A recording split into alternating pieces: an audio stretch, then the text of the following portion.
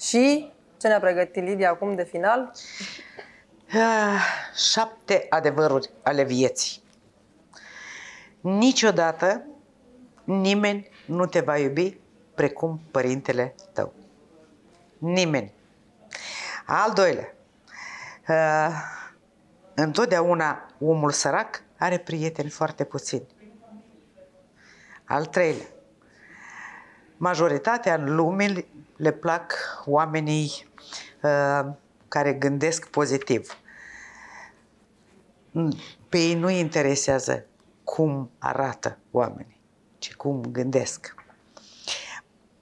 Uh, mai multă lume respectă banul și nu omul.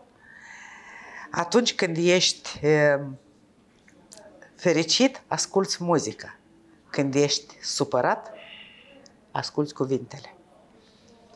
Omul își clasifică așa, după ochi, două lucruri. Uh, Tărie de caracter și voința pe care o are atunci când are bani și cum se comportă atunci când, nu, atunci când nu are bani, tărie de caracter și atunci cum se comportă atunci când le are pe toate.